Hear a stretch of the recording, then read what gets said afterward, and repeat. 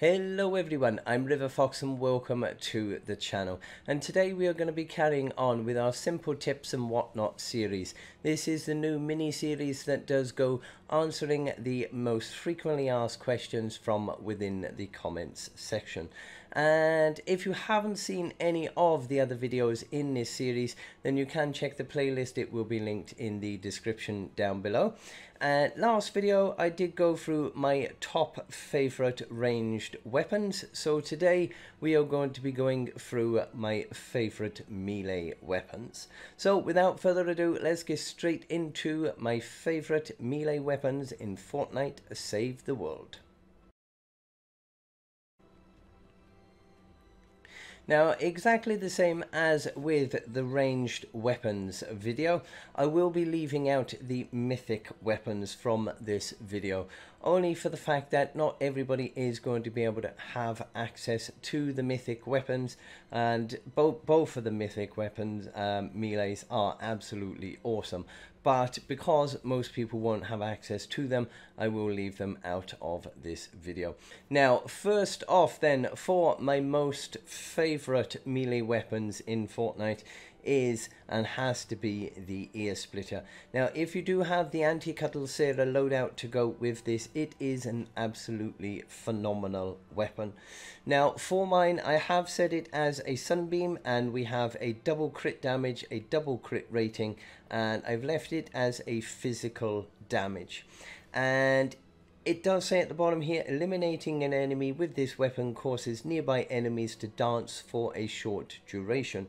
Does not affect enemies that have recently been dancing. Dance does not affect mist monsters or bosses. And it also says Spear Boombox, a spear that deals heavy damage with long range thrusting attacks. Sonic Pulse, slam the spear into the ground, channeling damage and knocking back nearby enemies, while also providing a temporary damage buff to you and your ability. Stacks up to four times. So basically, with the heavy attack, then you place the spear in the ground and it will deal a constant amount of damage to those husks. So the more husks that are around you, the more damage that spear will do. And in some circumstances, you can actually be in that position, constantly giving off damage time and time again for as long as there are husks around. It is it is a phenomenal weapon. So one that I definitely recommend you do try and get whenever you can. Now a lot of the weapons in the uh, in this video are going to be weapons that were from certain events. So you may not be able to get all of them straight away. Hopefully, fingers crossed, they will come out in the birthday llamas, which should hopefully be coming out in July but the ear splitter is most definitely a weapon you should be trying to get as soon as you can. Now another really good one and one again you may not get at the moment but another fantastic one is the surround pound. Now for this one I've gone sunbeam again and we have a double crit damage, crit rating, energy element on this one and an additional attack speed. Stunning or knocking back an enemy with this weapon causes it and nearby enemies to dance for a short duration. Does not affect enemies that have recently been dancing. Dance does not affect mist monsters or bosses. And hardware boombox, a hammer with good attack speed and excellent impact. Bass drop, smash the ground, creating a series of sonic pulses that damage and knock back enemies. So again, this is from the same set as the ear splitter, but it is a phenomenal, phenomenal hardware weapon.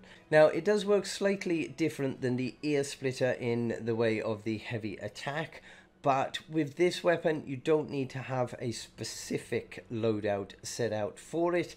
You can pretty much get some decent damage regardless of the hero loadout you have. If you do have a melee um, loadout, then of course you are going to do a lot more damage, but you can still do some phenomenal damage even without that specific loadout. And in my opinion, the only weapon, I think, melee weapon that's got any better damage output than the surround pound is, of course, my Storm King's Fury. But yeah, surround pound, absolutely awesome weapon. Now, another weapon that you may not even consider getting or using is the stop axe. Now you can only level this up to a level 25 and it does only have a one single perk with it. But this is actually a really, really powerful weapon in the right loadout. I have actually done a video on the stop axe, uh, so do check that out. It will be linked in the description down below. You will be pleasantly surprised just how far you can get with just a stop axe. Phenomenal, phenomenal weapon and do not discount it. I would definitely recommend you try it out. Even if you don't keep it, I definitely recommend you level one up and try that out. Now, another decent weapon, although I haven't finished leveling it up, only because I now have the uh, Storm King's Ravager, so I don't need to use it. But the Spectral Blade is a really good melee sword, and again, regardless what hero loadout you have got on this, it will actually do some pretty decent damage. Now, I did set mine up on double crit rating, crit damage, uh, energy element, and damage to slowed and snared targets.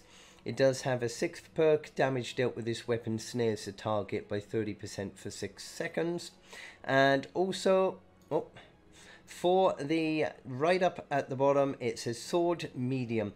Uses an above average attack speed to deal high sustained damage with moderate impact. Spectral slash warp to the targeted enemy dealing heavy damage may stagger smaller enemies now, what this basically means is you can you can basically start over this side, use your heavy attack ability, and you can literally phase across to a certain distance and attack the husks.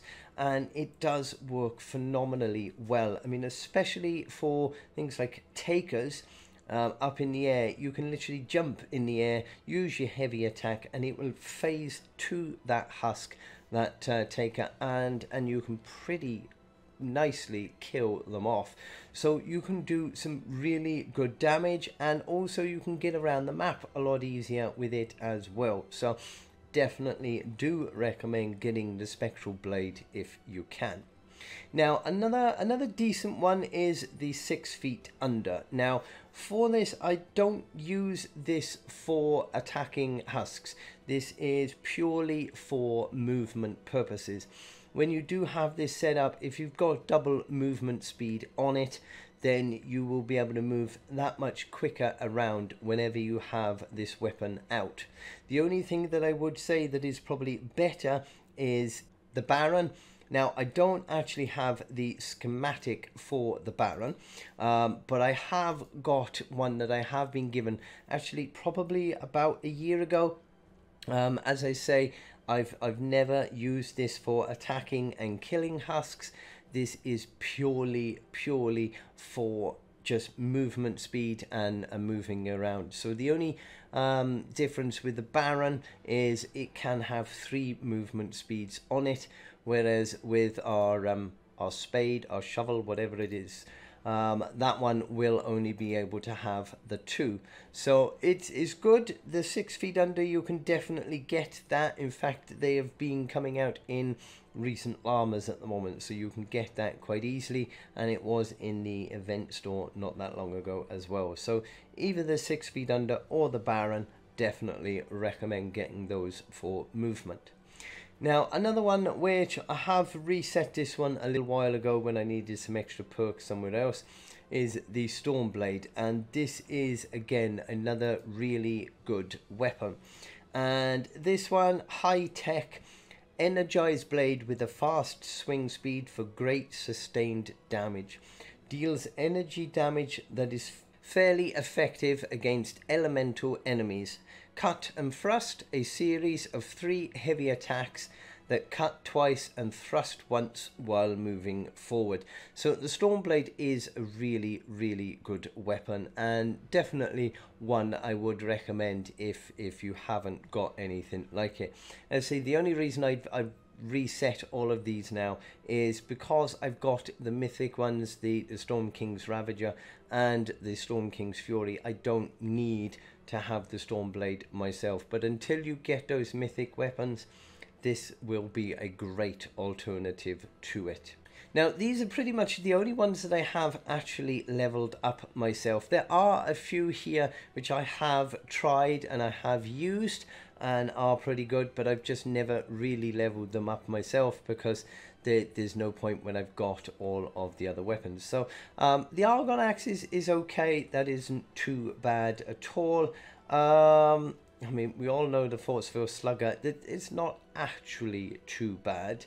Um, what else do we have here? Husk Cleaver, that was one of the earliest uh, swords that I did level up, and it, it was pretty okay to use, so I would recommend it if you can. Now, I have been given one of these recently, the Astrobat 9000, and this is this is an amazing um, club. It is is actually really really powerful. Now I haven't leveled this one up as yet, but I I will be doing so. And this one retro sci-fi, a fairly quick bat with high damage and low impact energy slam heavy attack that launches an explosive energy ball at enemies, dealing damage in an area. And set this up with crit damage, crit rating, uh, you can even put the movement speed on this as well, but I would probably recommend putting that as a damage or something rather than the movement speed for this one. But the Astrobat 9000 is a really, really good weapon, and I, I would strongly recommend getting that whenever you can and trying to level that up.